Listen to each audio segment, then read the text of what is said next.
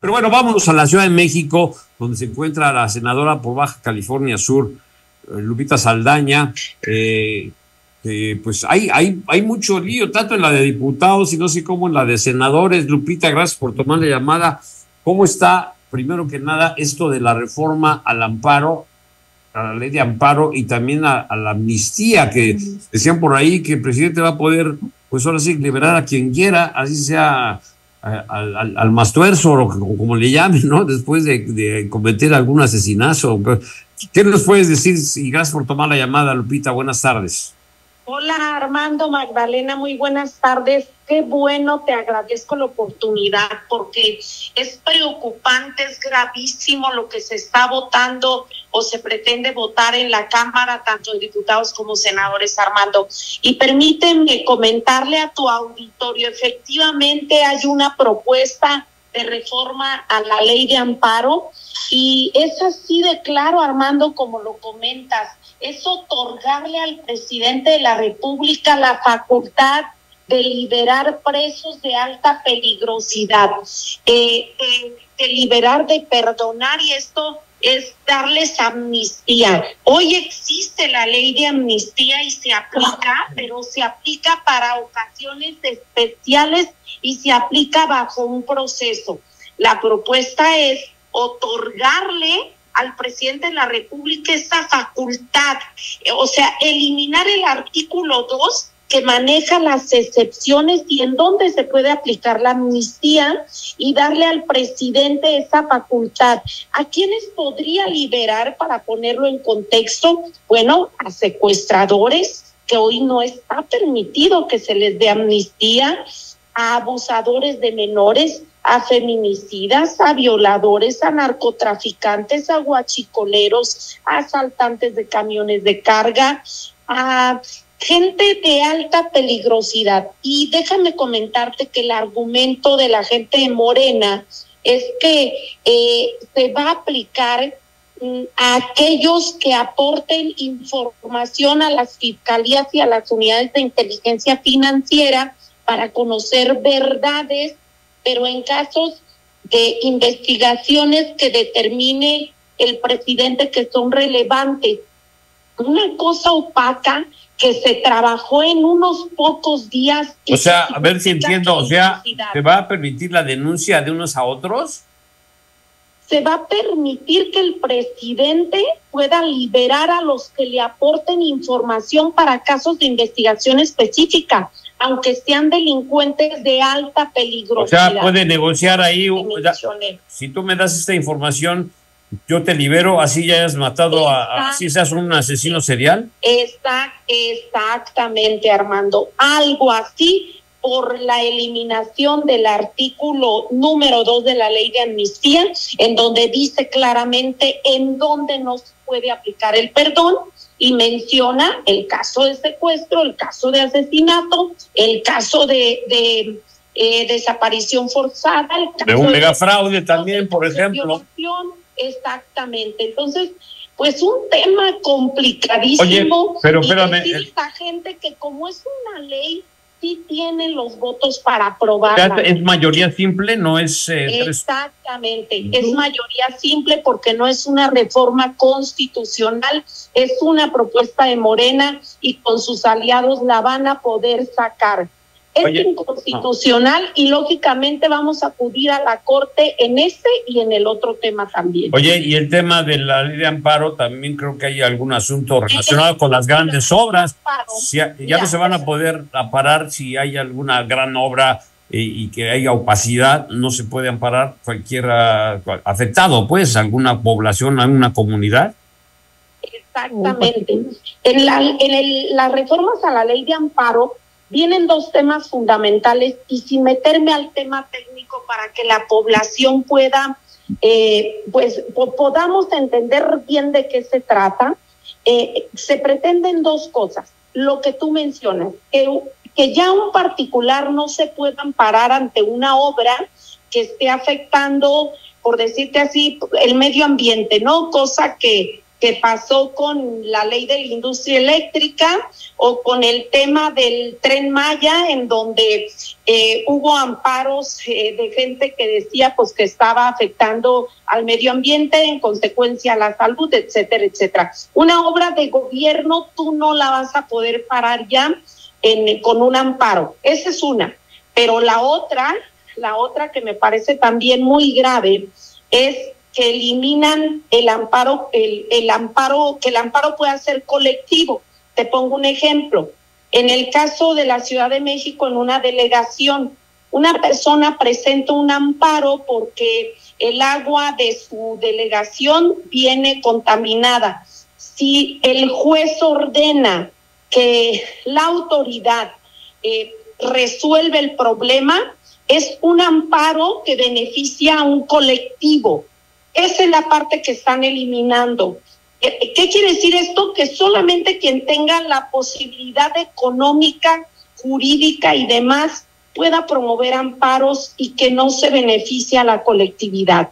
Lo mismo aplicaría, por ejemplo, en libros de texto, que tú promuevas un amparo y que pues se beneficie o se eh, eh, solamente o sea, por ejemplo los de salve tren sálveme el tren o selva sélvame el tren eh, no pueden ellos parar ningún tipo de, tramo que esté afectando pues los cenotes o cualquier cosa en colectividad, ¿no? Y más si es una comunidad, por ejemplo, de, de pobladores originarios, no pueden hacerlo, ¿ya? En colectivo. Tendría que ser uno por ah. uno y le cuesta pues una lana, ¿no?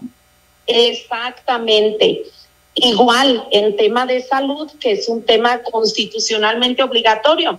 Alguien que no le dé las vacunas a un menor, si un juez determina que la autoridad debe cumplir con las vacunas, solamente va a beneficiar a ese menor, ya no aplicaría la colectividad, que esta fue una reforma del 2011. Los derechos humanos tienen que ir en, en, aumento, no pueden ir en retroceso. Por eso creemos que es inconstitucional y que se va a ganar en la Corte una vez que se presente una acción de inconstitucionalidad. Estos son los dos temas que se están planteando. Y, los dos son también con, se aprueban con, con mayoría simple, no es la, Armando, se aprueban con mayoría simple los dos, porque son reformas a leyes y se aprueban con mayoría simple. Y a la par se está trabajando ahorita en Cámara de Diputados una ley, eh, una reforma al, al tema de las afores, en donde eh, hay una propuesta, de hecho, solo te hago el comentario, aún no llega a la Cámara de Senadores, pero es una propuesta para que todo aquel que no reclame su afore a los 70 años, ese recurso, incluso el que ya está, se pueda ir a un fondo eh, público, que es un fondo del bienestar. O sea, tu recurso privado, el tuyo, te lo quitan y lo mandan a un fondo público. Esa es la otra propuesta eh, sobre los afores que están eh, planteando la gente morena, los legisladores de Morena, en la Cámara de Diputados pues es una situación muy, muy grave eh, y yo lo más te preguntaría en, plata, ahora sí, ¿qué hay detrás de esto? ¿Cuál es la intención?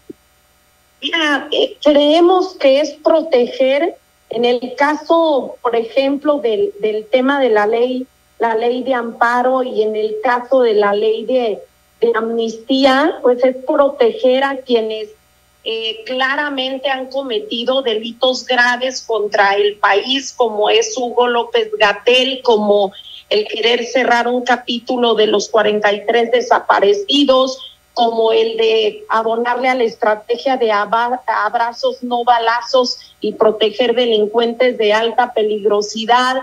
Eh, pues no sé, hay muchos eh, muchas suposiciones al respecto, pero sí que sepa la ciudadanía que el voto que le dieron a los legisladores de Morena lo están usando para esto y me parece muy, pero muy, muy grave. Magdalena. Lupita, buenas tardes. Oye, los, los escándalos y las presiones van increchendo. ¿Qué opinión te da lo que está pasando con la magistrada Norma Piña? Eh, yo creo que el tema de la magistrada eh, Magdalena es que no es, no ha querido ceder a las presiones del Ejecutivo.